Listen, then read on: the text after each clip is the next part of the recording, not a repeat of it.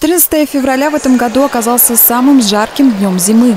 Катание на коньках за ручку и под зажигательную музыку создали романтическое настроение всем посетителям Центра фигурного катания.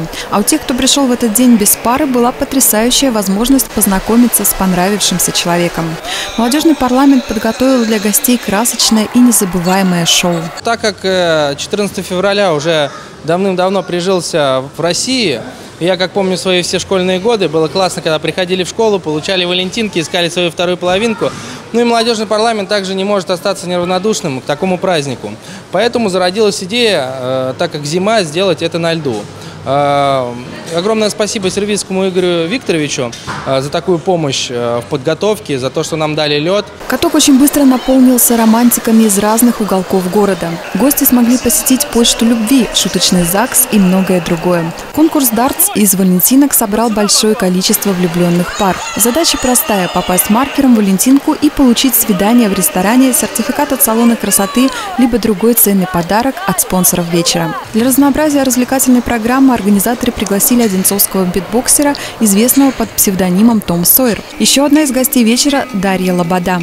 Юной фигуристке всего 9 лет, но она уже так грациозно выполняет фигурные упражнения на льду.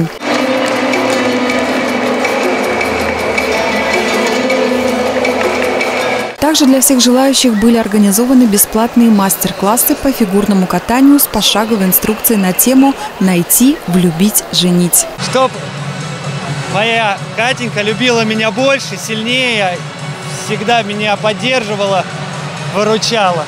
Я люблю тебя. Я тебя люблю.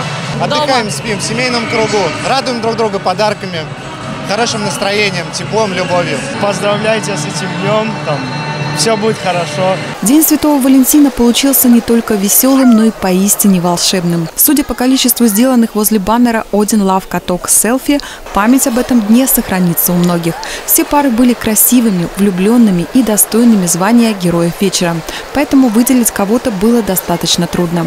Однако главные Валентины Валентина вечера все же были выбраны. Им достался кубок и памятные подарки. Мила Тарасевич, Станислав Трифонов, телекомпания «Одинцова».